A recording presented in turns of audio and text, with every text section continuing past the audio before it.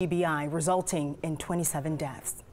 A crash shuts down I 75 in Cobb County for a number of hours, impacting the morning commute. And tonight, we are learning more about what happened. Police say two vehicles collided in the southbound lanes near North Marietta Parkway this morning and then also hit two oncoming semis. A 54 year old man